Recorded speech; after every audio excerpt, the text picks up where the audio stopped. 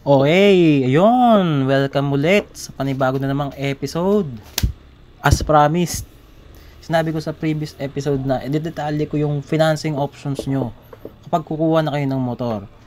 Itatry kong maging as complete as possible tong video na to para malinawan na kayo sa buong process. Tapos ang next na iisipin nyo na lang is kung anong motor yung kukunin nyo. Shameless plug nga pala sa last episode. At I strongly suggest na panoorin nyo ng buo kasi dinetalye ko yung advantage at disadvantage between options. At masasabi kong totoo to kasi ako mismo yung naka-experience.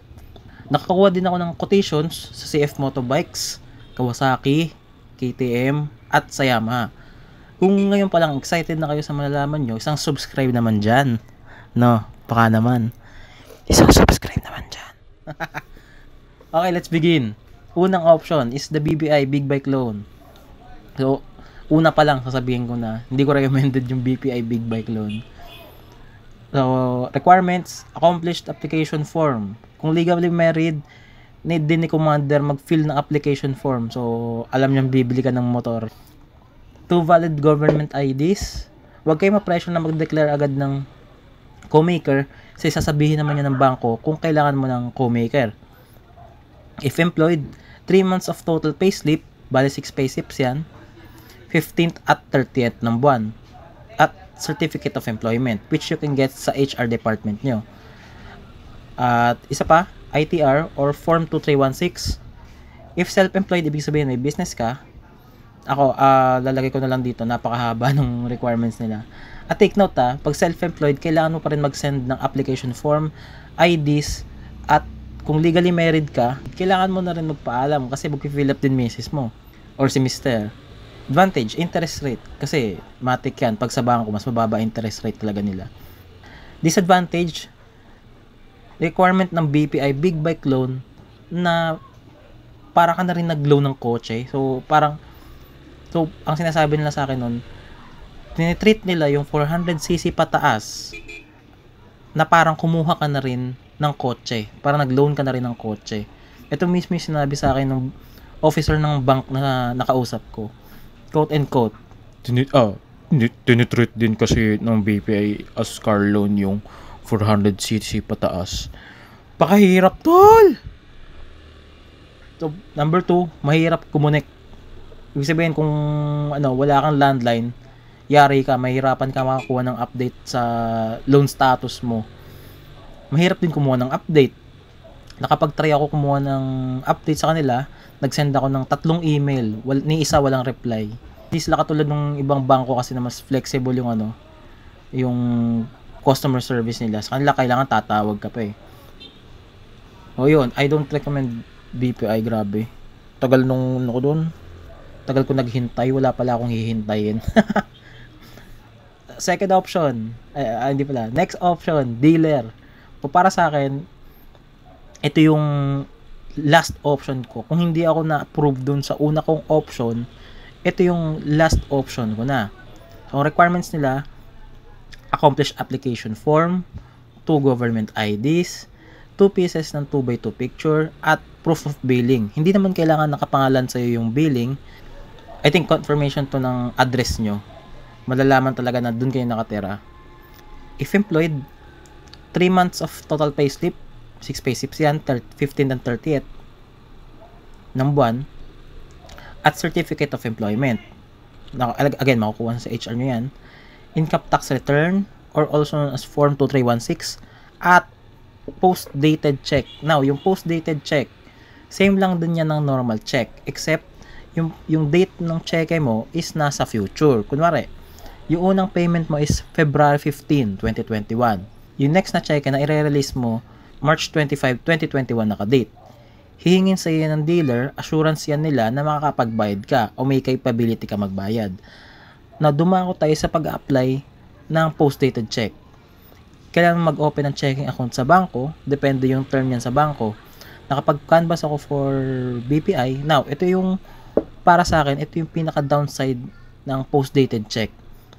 Ang maintaining balance niya is 10,000 bro, 10 kyaw. Di mo pwedeng pull out yan sa checking account mo habang ginagamit mo yung checking account mo. At remember, sa checking account, kukuha ka ng pondo. yung mga check na inisyo mo, pag hindi mo nilagyan ng pera yan, magkiklaim, at pag nag-claim si dealer ng cheque sa buwan na yon, tatalbog yan. Yun yung sinasabi ng tumatalbog yung cheque. If self-employed, ibig sabihin may business ka, ang kailangan mo, mayor's permit, ITR, or BIR form 1701. Trade references, supplier at clients with contact numbers. I think for checking yan kung legit yung business nyo. 6 months statement of account galing sa bangko. At PDC din. Pero kung may business ka, I don't think magiging problema yan sa'yo eh. Advantage. Advantage ng dealer, mas madali mag-apply. Mas ma- mas lenient sila sa ano sa requirements. Disadvantage, higher interest rate. Mas mataas yung tubo nila kasi sa bangko at syempre, kakambal ng higher interest rate, higher monthly amortization. Pero teka, ah, panoorin nyo hanggang dulo para sa mga tips. At post-dated check, yun nga, nabanggit ko nga, post-dated check, mas may, may maintaining balance ang ano, post-dated check. So, ako may contact info ako sa dealer. Pero, yung contact person na to is for Kawasaki dealer to ah. Kawasaki Quezon Ave to be exact. Kasi, Z400 yung binili kong motor. So, yun. Next option, or my option, is the AUB, Big Bike Loan. Requirements, accomplished application form. So, yung application form nung nag-fill up ako nito, through Viber na lang. Hindi katulad nung mag-fill up ka ng paper. May contact din ako sa AUB, siya yung naging agent ko sa AUB. Nasa description yung ano, nasa description yung contact number niya. At two government IDs. If employed, uh, certificate of employment, 3 months worth of payslip, ITR or Form 2316, same lang sa BPI. Advantage, interest rate. Bangko pa rin naman to, eh, ba? Mas mababa pa rin interest rate nila. Mas madali yung payment option nila sa AUB kasi may auto debit option sila. Hindi mo naman kailangan na may account ka sa AUB pag nag-apply ka for a loan. Ako kasi wala akong wala akong account sa AUB noon eh. Sasabihin sa ng contact mo kung kailangan mo na magbukas. Ibig sabihin, approve na yung loan mo noon. Nasa process ka na ng pag pagpipirma o pagtatanggap ng loan contract mo nung ginawa ko yon. So, madali lang ng process. Madali lang. I-walk through ka ng contact mo sa process. Kaya, huwag ka matakot na ano, kung nagbabala ka na ng upgrade at sa bangko ka kukuha, wag, ah, wag kang matakot dun sa mismong process kasi uh, iga-guide ka niya.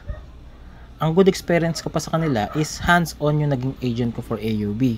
Pag walang unit sa una mong dealer, hinahanapan ka ng dealer na merong stock.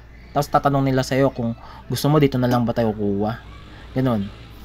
So, I, sa disadvantage naman, I think ang pinaka-disadvantage nila is may maintaining balance pa rin yung i-open mo na account para sa auto, auto debit payment mo monthly.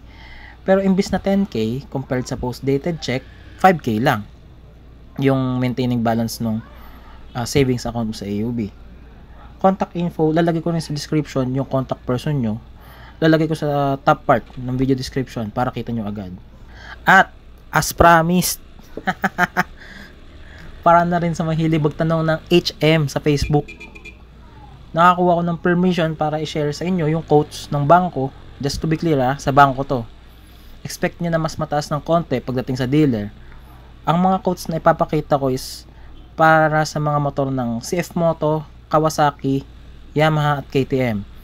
Unfortunately, hindi ako nakukuha for Suzuki at Honda kasi ayoko mangulit masyado. Sa Benelli naman, hindi naman daw nila accredit ang Benelli kasi baka pag nangulit ako, i-pull out yung loan ko eh. Papakita ko na lang ngayon, post nyo na lang yung video kung gusto nyo tingnan ng maigi.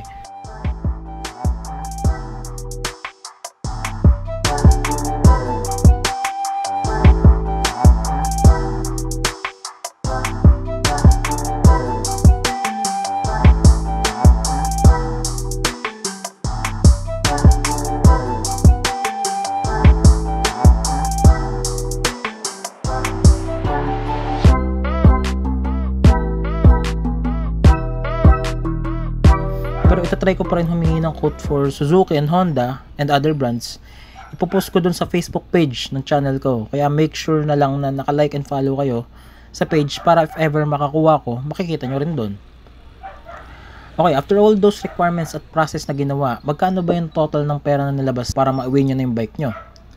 Guys, yung nakalagay na down payment sa dealers or sa mga nakikita nyo nag-offer online, yung down payment is down payment pa lang. May chattel mortgage pa yan, insurance, at uh, LTO registration fee. At ito yung comparison ng fees between AUB at sa dealer. Keep in mind po ha, para po sa Z400. Baka may magtanong, Ha? Bakit for Z400 lang?